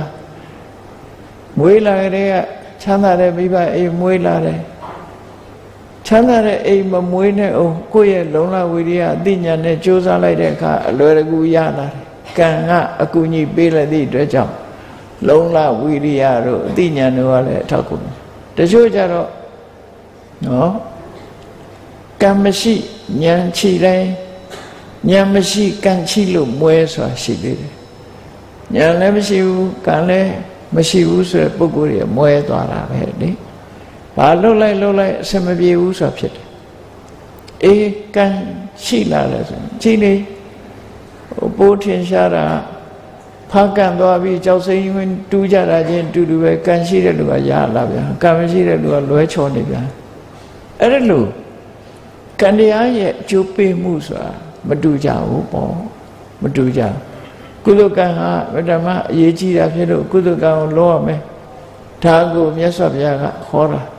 အလုံးလွယ်လွယ်ကူကူလေးနဲ့နားလဲနိုင်တယ်အလုံးလှပတဲ့ပန်းမျိုးစုံတဲ့ပန်းမုံကြီးတွေမှာတဲ့ ပန်းမုံကြီးတွေကနေပြီးတော့ကိုကြိုက်တဲ့ပန်းမွင့်တွေကိုရွေးချယ်ပြီးတော့ပန်းကုန်းမျိုးစုံအောင်ဆုံးပြီးတော့ပန်းကုန်းအလှတွေကိုပြင်ဆင်ကြသလိုကိုရရှိထားတဲ့ဘဝလေးမှာကုသိုလ်ကောင်းမှုကိုစုံနေအောင်အများကြီးလုပ်ပါလို့မြတ်စွာဘုရားတိုက်တွန်းဟောကြားတာဒီဒေသနာ။ဘာကြောင့်ဒီဒေသနာကိုတိုက်တွန်းဟောကြားရသလဲဆိုလို့ရှိရင်ဘယ်သူကိုအကြောင်းပြုတာတော့ဆို ဝိသခာကြောင့်အမကြီးကိုအကြောင်းပြုပြီးဟောတာ။ဝိသခာကုသိုလ်မျိုးစုံကိုစုံနေအောင်လုပ်တဲ့မျိုးသမီးလည်းဖြစ်တယ်။အဲ့တော့ဝိသခာအကြောင်းကိုနည်းနည်းပြောမယ်ဆိုရင်သူဟာဒီဂေါရမဖရာမပွင့်ခင်ကဘာတသိန်းကာလမှာပထုမုဒ္ဒရာဆိုရမြတ်စွာဘုရားပွင့်တယ်ပထုမုဒ္ဒရာမြတ်စွာဘုရားပွင့်တဲ့အခါမှာ အဲ့ဒီပထုမုဒ္ဒရာမြတ်စွာဘုရားလက်ထက်မှာလူဖြစ်တယ်လူဖြစ်တော့သူနဲ့အတူတကွာတွဲပြီးတော့ကျောင်းသွားပေါ်သွားပဲအမျိုးသမီးကြီးတယောက်ရှိတယ်အဲ့ဒီအမျိုးသမီးကြီးကပဋိမုဒ္ဒရမြတ်စွာဘုရားနဲ့အလွန်ရင်းနှီးတာမြတ်စွာဘုရားလိုအပ်တာတွေအကုန်လုပ်ပြီးတဲ့ဒီတန်ခမာတာ တန်ခမိခင်ဆိုတဲ့အနေအထားမျိုးမြတ်စွာဘုရားနဲ့အလွန်ရင်းနှီးတယ်အလွန်ရင်းနှီးပြီးတော့လိုအပ်ချက်တွေအားလုံးကိုလုပ်ပြီးတယ်အဲ့ဒါကိုသူကအားကြတယ်အားကြပြီးတော့မြတ်စွာဘုရားကိုလျှောက်တယ်ဒီမျိုးသမီးဟာမြတ်စွာဘုရားနဲ့အလုံးကိုယဉ်နေတယ်အလုံးနဲ့တန်ဃာတွေလည်းလည်းယဉ်နေတယ်သူဟာ ဘာကြောင့်ဘုရားနဲ့ယဉ်နေတုံးလို့ဆိုတဲ့အခါသူဟာမြတ်စွာဘုရားရဲ့အခဥပဋ္ဌာယိကာလို့ခေါ်တယ်မြတ်စွာဘုရားကိုလိုကြွေးပြုစုတဲ့နေရာမှာအတော်ဆုံးအဖြစ်ဖះနဲ့အကြောင်းဝင်တဲ့အမျိုးသမီးဖြစ်တယ်ဆိုပြီးတော့မြတ်စွာဘုရားရဲ့တပည့်အရင်နှီးဆုံးတကတကတာယကမဖြစ်တယ်လို့သူလည်းဖြစ်ချင်လိုက်တာပေါ့နောက်ဘဝမှာဒီလိုဖြစ်ချင်လိုက်တာဆိုပြီး ကုသကောင်းမှုလုပ်ပြီးပထမုဒ္ဒရမြတ်စွာဘုရားထံမှာဆုတောင်းတယ်တပည့်တော်လည်းနောင်အနာဂတ်ကာလမှာပွင့်တော်မူတဲ့ဘုရားတဆူရဲ့တဆူဆူရဲ့ရှင်းဤဝင်ဆံပြီးတော့မြတ်စွာဘုရားကိုလိုလေသေးမရှိ ထောက်ပံ့လှူဒန်းနိုင်တဲ့အလုတ်အကျွေးအမျိုးသမီးထိတ်တန်းအမျိုးသမီးဖြစ်ပါစေလို့ဆုတောင်းတော့ ဘုဒ္ဓဘုရားမြတ်စွာဘုရားသူ့ရဲ့စိတ်ဆန္ဒဟာအလွန်ကြီးမားနေတာကိုသိပြီးပြဋိတ်ပေးတယ်ပြဋိတ်ပေးတယ်ဆိုတာအနာဂတ်ကိုကြွတင်ပြီးတော့ပြောတာခဏိခေလည်းအနာဂတ်ကြွတင်ပြောတာလေးတွေရှိတယ်လေအနာဂတ်ဆိုတာမရှိသေးဘူးမရှိသေးတာကိုဘလို့ကြိုတင်ပြောလဲဒီကနေ့ခေတ်လူတွေလည်းကြိုတင်ပြောနေကြတာရှိတယ်လေဥပမာကိုနတ်ပတ်ဝန်းကျင်မှာရှိတဲ့ကိုမိသားစုတွေကကလေးလေးဖြစ်ပြီ ဒီကလေးလေးကပြောလို့ဆိုလို့ကောင်းတယ်လိမ္မာတယ်ချစ်ရင်တော့အရွယ်ရောက်လာရင်တော့ချီးပွားအောင်မှာပဲဒါပြလိုက်ပဲလေချီးပွားအောင်မှာပဲလို့ပြောကြတယ်နောက်မိုးလေဝသဌာနလူတွေကလည်းကြည့်တယ်ဘင်္ဂလားပင်လယ်အော်မှာလေးဖိယဝံအနေမှုတွေတွေ့နေတယ်မုံတိုင်းဆင်းနေတယ်ဆိုရင်ဘယ်နည်းပဲရဲမှာမုံတိုင်းဝင်လိမ့်မယ်ဆိုတာချွတ်တင်ပြောတာပဲလေအဲ့ဒီမှာ ပစ္စုပန်အခြေအနေတစ်ခုကိုကြည့်ပြီးကြွတင်ပြောလို့ရတယ် prophecy လို့ခေါ်တယ်ဗျာဒိတာကြွတင်ပြီးတော့ပြောဆိုလို့ရတယ်မြတ်စွာဘုရားတွေကြတော့အတ္တမသိကြတယ်သိကြတဲ့သူတို့ရဲ့ကြွတင်ပြောဆိုမှုဟာအခုဆုတောင်းတဲ့အမျိုးသမီးရဲ့စိတ်ဆန္ဒသူ့ရဲ့ကြိုးပမ်းအထောက်မှုသူ့ရဲ့စိတ်နေသဘောထားသူ လွန်ကဲတဲ့ဆန္ဒဒါတွေကိုကြည့်ပြီးတော့အေးကဘာတသိန်းလွန်မြောက်တဲ့အခါမှာဗဒ္ဒကဘာမှာဂေါရမဖရာဆိုတာပွင့်လိုက်မယ်အဲ့ဒီဖရာလက်ထက်ရောက်တဲ့အခါဖရာနဲ့အလုံးရင်းနှီးဝင်ဆန်းတဲ့အလုတ်ကျွေးအမျိုးသမီးဖြစ်လိမ့်မယ်လို့ဆိုပြီးဖြားရိပ်ပေးခဲ့တာဝမ်းသာလိုက်တာအဲ့ဒီသတင်းကိုသူရပြီးစိတ်အားတွေတားတက်တ က်ပြီးတော့ကုသိုလ်ကောင်းမှုတွေဆက်လုပ်နောက်ဆုံးမှာဘဝတစ်ခုပြီးတော့ဘဝပေါင်းများစွာကဘာတသိမ့်မှာလူဘဝရောက်လိုက်နတ်ဘဝရောက်လိုက်နဲ့ရောက်တဲ့ဘဝတိုင်းဘဝတိုင်းမှာကုသိုလ်တွေလုပ်သွားတာသူကုသိုလ်တွေလုပ်တော့ဂေါရမဘုရားရဲ့ရှေ့ကပွင့်တဲ့ဘုရားကကတ္တဗဘုရားလို့ခေါ်တယ်အဲ့ဒီကတ္တဗဘုရားလက်ထက်ကြတော့ ဗာရဏသီပြည်မှာခိကိဆိုတဲ့ဘုရင်ကြီးရှိတယ်အဲ့ဒီခိကိဘုရင်ကြီးရဲ့သမီးတော်ခုနှစ်ဖော်ထဲမှာဝိသခအလောင်းအမျိုးသမီးကအငယ်ဆုံးသမီးသွားဖြစ်တယ်နော်သူ့ရဲ့နာမည်ကတန်ခဓာတိတဲ့အဲ့တော့သူကအငယ်ဆုံးဖြစ်တယ်ကိကိမင်းကြီးစီသူတို့ကခွင့်တောင်းကြတယ်ကိကိမင်းကြီး သမီးတော်ခုနှစ်ဖော်ကသူတို့ဟာဘိက္ခုနီမဝတ်ပြီးတော့သာသနာပေါ်မှာဝင်ရောက်ပြီးတရားဓမ္မအထုပ်ရစေလို့ခွင့်တောင်းတယ်သို့တော့ကိကိပြင်းကြီးကခွင့်မပြုသမီးတွေကိုမခွဲနိုင်ဘူးခွင့်မပြုခွင့်မပြုတဲ့အခါကျတော့ဘာလုပ်တော့ဆိုရင်အဲ့ဒီသမီး9ယောက်စလုံးဟာအိမ်တော်မပြုကြဘူး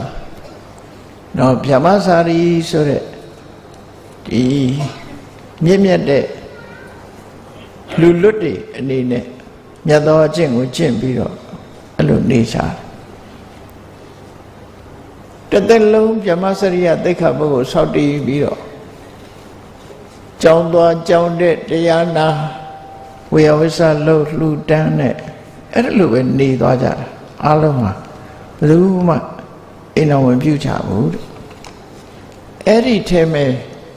သူတို့အုပ်စု ကိကိမင်းကြီးရဲ့သမီးတော်အုပ်စုတွေမှာဂေါရမဘုရားလက်ထက်ရောက်တဲ့အခါကျတော့ဘယ်သူတွေဖြစ်လာတော့လို့ဆိုခေမာတို့ခေမာမိဖုရားလည်းအဲ့ဒီအုပ်စုတွေကနောက်ပြီးတော့ဥပ္ပလဝဏ္ဏတဲ့နော်ဥပ္ပလဝဏ္ဏလည်းပဲအဲ့ထက်ရပဲနောက်ပတ္တစာရီဆိုတာလည်းအဲ့ဒီအုပ်စုတွေဓမ္မဒိဏလည်း အဲ့ဒီအုပ်စုတွေကပဲဖြစ်လာ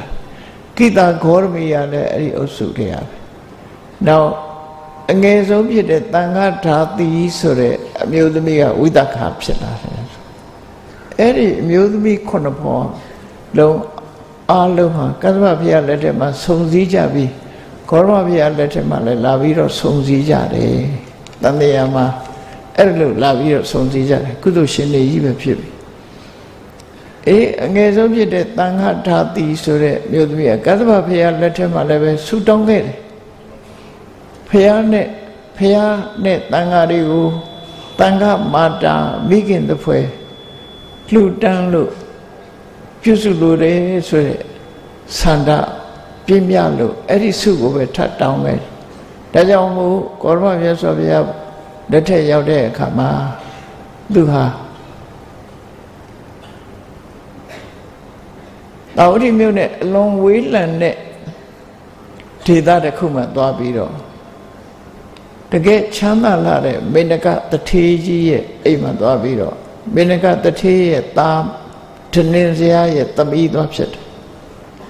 နော်ဒနင်းစရာတထေးရဲ့သမီးသွားဖြစ်ပြီးကัจจမာကသူတို့ဘလို့ဖန်တီးပေးလိုက်တယ် ဖះနဲ့တွေ့ရအောင်ဘလို့ဖန်တီးပေးတယ်ဆိုမှန်ကတော့ဖះနဲ့ဝေးတဲ့ဒေသသို့တော်မြတ်စွာဘုရားကြွသွားတာအဲ့ဒီနေရာကိုကြွသွားတာသူ့အဖိုးတထေးကြီးကရွှေဆိပ်ရုပ်တွေပိုင်တဲ့တထေးကြီးဖြစ်တယ်အဲ့ဒီမှာနေပဲဝိသခာက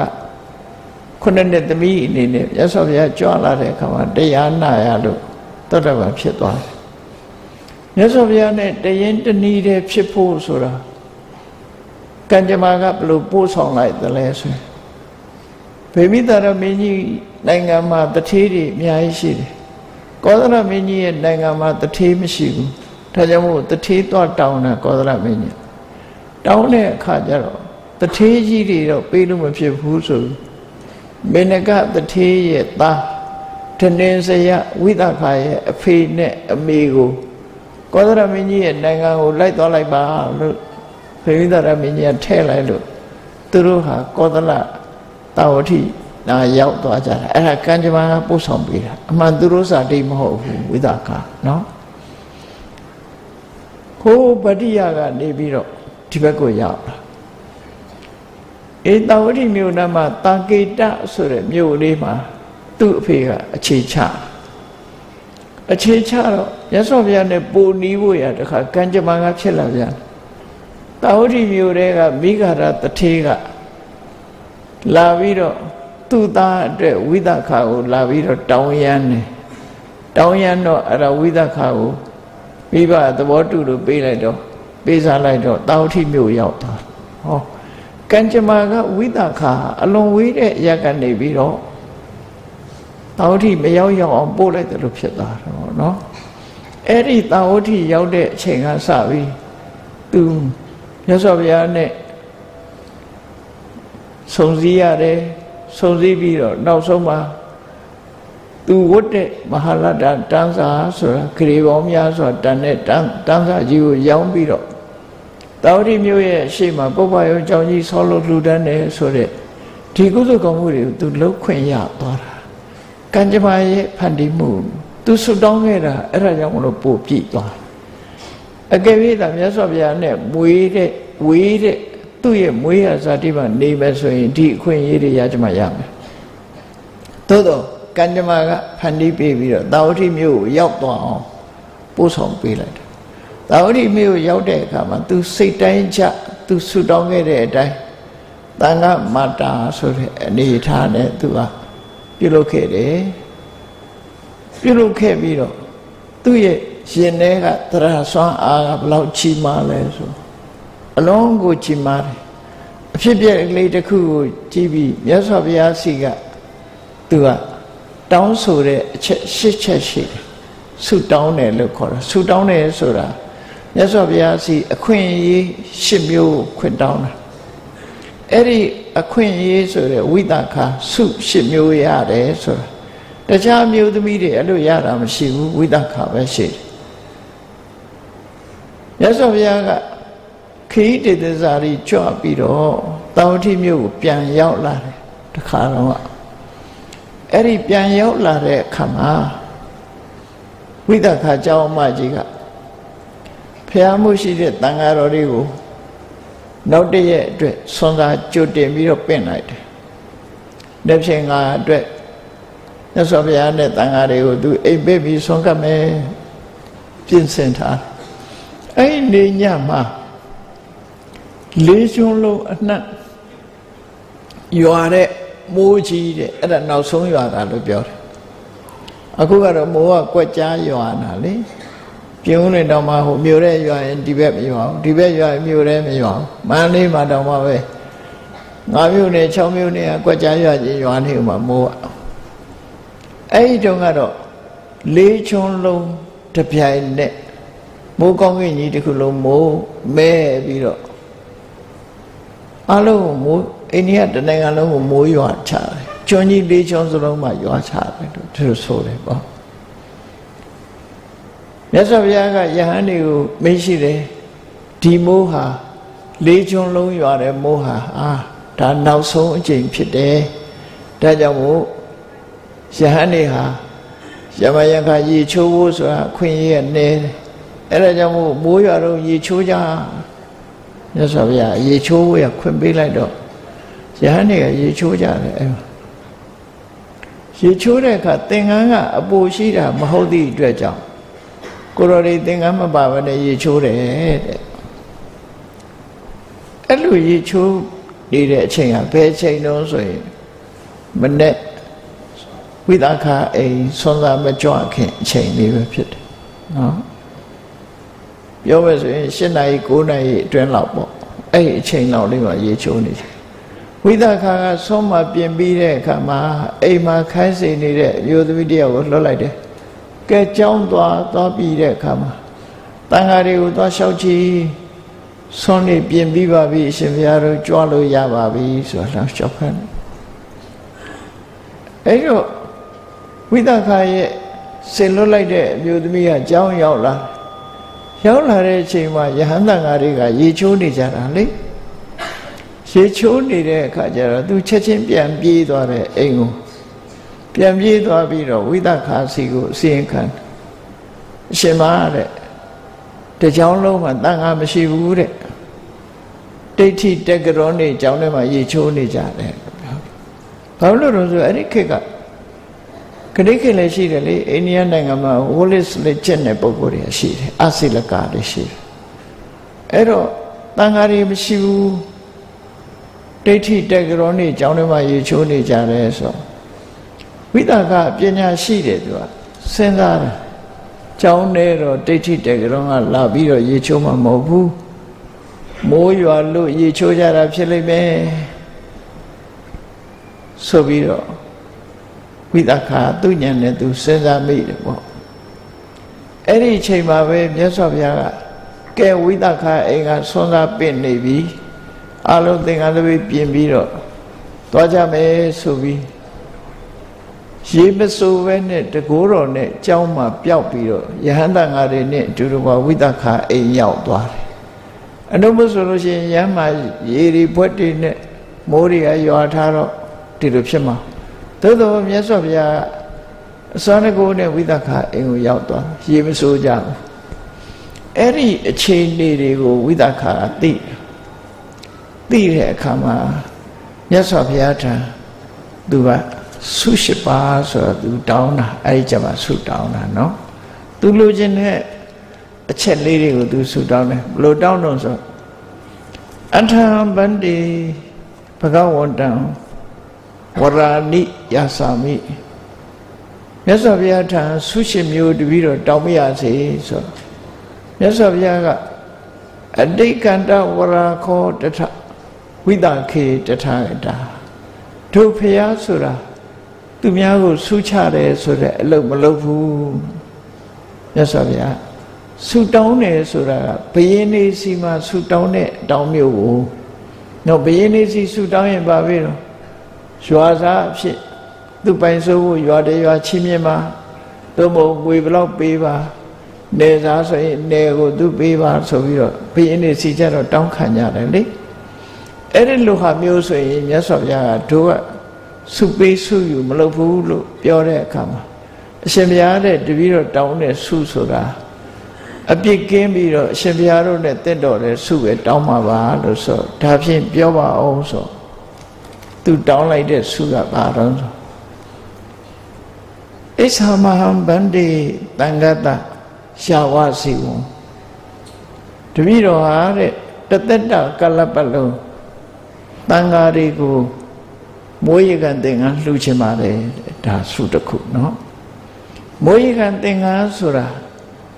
မိုးရွာတဲ့အခါမှာဝတ်လို့ရတဲ့သင်္ကန်းမျိုး ဟိုဝါဆိုသင်္ကန်းကိုပြောတော့မဟုတ်မိုးရေခံသင်္ကန်းဆိုတာမိုးရေခံလို့ရတယ်အဲ့သူဘာလို့တောင်းရတာတော့ဆိုရင်မြတ်စွာဘုရားကိုလျှောက်တယ်ရှင်ဘုရားတပည့်တော်နတ်ကအမျိုးသမီးကျုံမတရားကိုလွတ်လိုက်တယ်လွတ်လိုက်တဲ့အခါရဟန်းတန်ဃာတွေကရေချိုးနေကြတယ်အဝတ်မပါပဲအဲ့ဒီအခါမှာဒိဋ္ဌိတက္ကရောနေတာရေချိုးနေကြတယ်လို့တပည့်တော်စီအကြောင်းကြားတယ်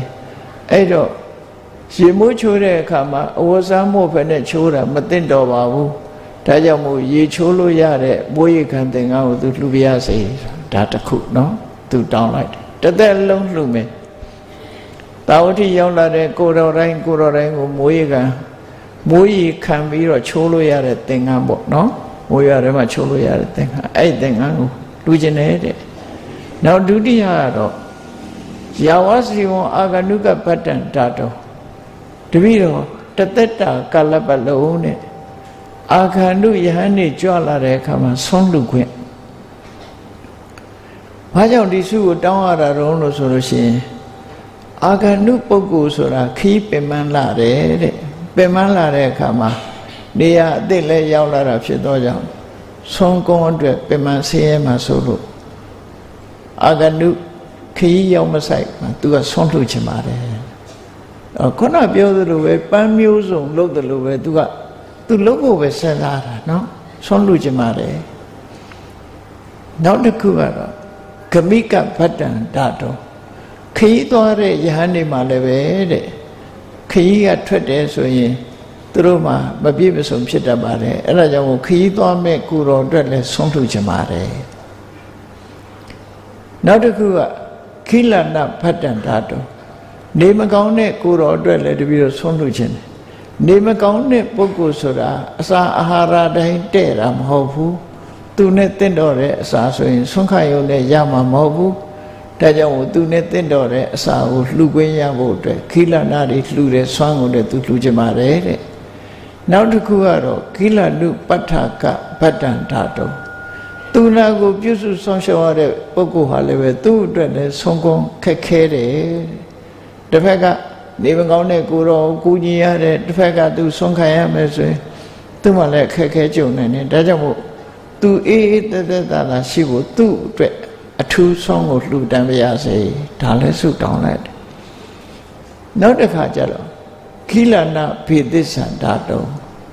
နေမကောင်းတဲ့ကိုတော်အတွက်ဆေးဝါးကိုလည်းသူလှူရစေဒုဝရခုံ တန်ဃာတွေကိုအမြဲတမ်းယာခုသူကတ်ချင်ပါတယ်အဲ့ဒါကိုလည်းလှူရစေနောက်ဆုံးရှိခုမြောက်တောင်းလိုက်တာတော့ဘေခုနီတန်ခတဥဒကတာတိကံဒါတုံဘေခုနီမတွေအတွက်သူဟာရေတတုံးသင်းမိုင်ကိုလှူရမရစေတဲ့ဘာကြောင့်လှူတာတုံးလို့ဆိုတစ်ချိန်တုန်းကတဲ့မြတ်စွာဘုရားကဒီလိုခွင့်ပြုထားတာမရှိတော့ ရေချိုးကြတဲ့အခါမှာအမျိုးသမီးတွေဟာဟိုလူတွေနဲ့ရောနှောပြီးတော့ချိုးရတယ်အဝတ်စားတခါတည်းအခက်ခဲကြုံတဲ့အခါမှာလူတွေကပြောင်းတာလှောင်တာတွေခံရတယ်တဲ့အဲ့ဒါကြောင့်မလို့အမျိုးသမီးတွေလည်းလုံလုံချုံချုံရေကူးဝဆုံလိုဟာမျိုးပေါ့လေလုံချုံတဲ့အဝတ်ကိုလှူဒန်းရစေဆိုပြီးဆုတောင်းတာတဲ့အလုံး၈ခုမြတ်စွာဘုရားက ဘယ်လိုရည်ရွယ်ချက်နဲ့ဒါတွေကိုတောင်းတာတုံးလို့မေးတဲ့အခါမှာတပည့်တော်ဟာတဲ့အခုလို့သူတောင်းတဲ့ရှစ်ချက်လုံးကိုသူပြုလုပ်လှူဒန်းခွင့်ရသွားပြီမြတ်စွာဘုရားစီနေကကြွလာတဲ့တန်ဃာတွေဟာတခါတည်းရမြတ်စွာဘုရားကိုလာပြီးတော့ရှ िख ိုးဝချကြပြီးနောက်ဆုံးမှာနေကကြွလာတဲ့ကိုရောတွေကသတင်းမေးတယ် သတင်းပေးတယ်ပေါ့အရှင်ဘုရား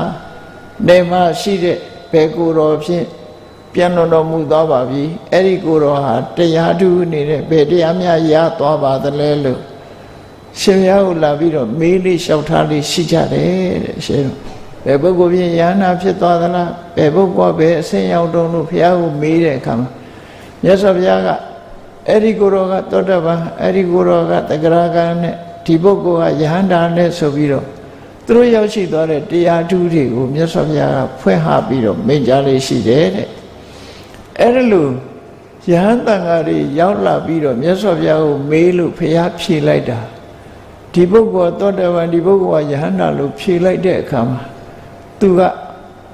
ဝိတခါကဘလို့ဝမ်းသာချင်တာတုံးဆိုတော့အဲ့ဒီပုဂ္ဂိုလ်တွေမေးတယ်အခု ပြန်လွန်တော်မူသွားတဲ့ကိုတော်ဟာတာဝတိမြို့ကိုရောက်ဖူးသလားဒါသိချင်တယ်သူအဲ့တော့ဖြေတယ်တာဝတိမြို့ကိုရောက်ဖူးတယ်ဘယ်ချိန်ဘယ်နှခါရောက်ဖူးတယ်ဆိုတော့ပြောလိုက်လို့ရှင်ဒီပုဂ္ဂိုလ်ဟာဧကနိဋ္ဌငါဆုံးကိုစားဘူးတဲ့ပုဂ္ဂိုလ်ပဲဖြစ်ရမယ်အဲ့လိုဝမ်းသာရအောင်သူကတာဝတိကိုရောက်လာဘူးတဲ့ပုဂ္ဂိုလ်မှန်သမျှသူသူဌာနနဲ့ကိတဲ့ပုဂ္ဂိုလ်မရှိဘူး သူလှူဖို့တဲ့ဝတိကတတိကဆိုတဲ့မိုးရေကသင်္ကန်း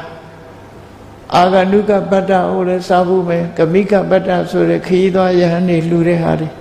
အဲ့ဒါလို့သူလှူသမျှကိုခံယူဘူးတဲ့ပုဂ္ဂိုလ်အဲ့ဒီပုဂ္ဂိုလ်ဟာယဟနာကြီးဆိုပါလားသောတပန်တဂရကအနာဂံဆိုပါလားလို့ကြားလိုက်ရလို့ရှိရင်ရင်ထဲမှာပီတိတွေဖြစ်တယ်ပေါ့အဲ့ဒါလို့ဖြစ်ရခြင်းဟာတပည့်တော်ဖို့အိန္ဒြိယဘာဝနာ တရားတွေ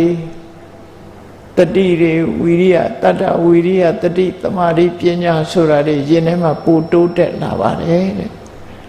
ဘုဇင်ကဘာဝနာဘုဇင်တရားတွေလည်းပဲသူပွားပြီးသားဖြစ်ပါတယ်ဝန္တာပီတိဖြစ်ရင်အတိညာကိုဖြစ်ပေါ်စေတတ်တဲ့ဘုဇင်တရားတွေလည်းသူတဏ္ဍမှာဖြစ်ပါတယ်အဲ့တော့သူဟာကျင့်တဲ့အာရသူလုပ်ခဲ့တဲ့ကုသိုလ်ကောင်းမှုတွေကို တတိယပြီးတော့ဝမ်းမြောက်ဝမ်းသာဖြစ်ဝမ်းမြောက်ဝမ်းသာဖြစ်ခြင်းကပီတိဖြစ်တယ်ပီတိဖြစ်ခြင်းကကိုရောစိတ်ရောအေးချမ်းတယ်ကိုရောစိတ်ရောအေးချမ်းခြင်းကချမ်းသာဒုက္ခကိုခံစားရတယ်ချမ်းသာဒုက္ခဖြစ်လာလို့ရှိရင်သူစိတ်လေးဟာတည်ငြိမ်တယ်အဲ့ဒီအကျိုးကျေးဇူးတွေကိုမျှော်ကိုးပြီးတော့ဒီဆုရှိမျိုးကိုတပည့်တော်အချိမြင့်မှာပေဒပေဒနာပါလို့ဆိုမြတ်စွာဘုရားခွင့်ပြုလိုက်တယ်အဲရှစ်ခုလုံးနော် အဲ့ဒီရှစ်ခုလုံးဟာဝိသခာသူရသက်ပံတသက်တာလုံးကုသိုလ်ကောင်းမှုတွေလုပ်ခဲ့တယ်လှုပ်သွားတယ်အဲ့ဒါကိုအကြောင်းပြုပြီးတော့မြတ်စွာဘုရားဝိသခာကိုစံနမူနာထားပြီးတော့ကြီးတဲ့အဗဒံလှပတဲ့ပန်းမျိုးစုံတဲ့ပန်းပုံကြီးတွေကနေပြီးတော့ပန်းကုန်းတွေတီကုန်းသလိုလူလောကမှာရလာတဲ့ပုဂ္ဂိုလ်ဟာ ဝိတခါလှုပ်တယ်လို့ကုသိုလ်ကောင်းမှုတွေကိုစုံနေအောင်လှုပ်တဲ့နဲ့လှုပ်ရမှာဖြစ်တယ်လို့ဒီဒေသနာတော်ကိုခေါ်ပြောတာပဲဖြစ်တယ်နော်အဲ့တော့ဘုန်းကြီးတို့တွေလည်းမိမိတို့ဘဝမှာတို့တွေမလှုပ်ဖူးသေးတဲ့ကုသိုလ်ဆိုတာမရှိအောင်တို့တွေစ조사အထောက်ကြရမှာဖြစ်တယ်တရားချစ်ခင်သူတော်စင်ပြိဿအပေါင်းတို့မြတ်ဗုဒ္ဓဆုံးမဟောကြားတော်မူခဲ့တဲ့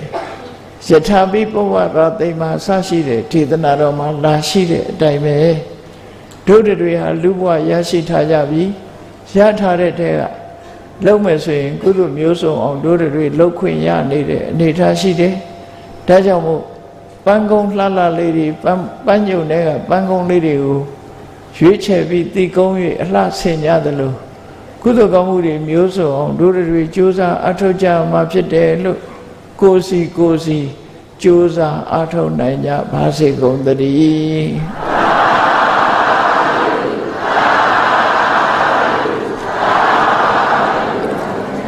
မေတ္တာပို့ရအောင်တတဝါများစွာပြေးရန်กว่าချမ်းသာကြပါစေတတဝါများစွာ ပြေးရန်กว่าချမ်းသာကြပါစေမေတ္တာရေချမ်းသုံးငါဖြံငြိမ်းချမ်းကြပါစေသက်ရှိကြမ်းမာစိတ်ချမ်းသာလူရဆန္ဒပြေပါစေ ဘုံလန္တာဒုက္ခပင်ကစားမေတ္တာပုံနေတုသင်္ကမာမနောတရတိတဗ္ဗေတံဘဝယန္တုဒုက္ခနကမေတ္တာပုံနေတုသင်္ကမစုပေါင်းပုအမေတ္တာတဟုရောင်မြူပဝေငွေလာမင်းနှင့်ရောင်ခြင်းရှဲယုံပေါင်းဆုံးရခြင်းကြောင့်တဗ္ဗေတံကျွေမဲ့ဥတုံလုံးစုံများစွာတတ္တဝါတို့၏ မနောတရတိမြင်မြဖြူစင်အေးကြည်လင်းသည့်ရေစင်ပြည့်တင်းစိတ်နှလုံးတည်ဟုသော ရေအိုင်ကြီးအတွင်၌ဒုက္ခပင်ကစားစင်ထောရအေမြကြည်သာတာယာပွင့်လန်းချမ်းသာဒုက္ခတိဟုသော ကုဗုဒ္ဓရာကြာပန်တို့သည်ဖုံးလတဝန္တာရွှေမြူဝမုံလူလျက်ကြည်နုဝဲကြုံဖူးပွင့်ညကုန်သည်ဖြစ်၍ ဒုက္ခနကလေးအောင်လေးတဲ့ရောရှက်သင်ပြန်ပိတိတိဟုသောယနန်တို့သည်ဘဝယံတုကောင်းစွာမသွေကြိုင်နိုင်၍နေကြပါစေကုန်တည်း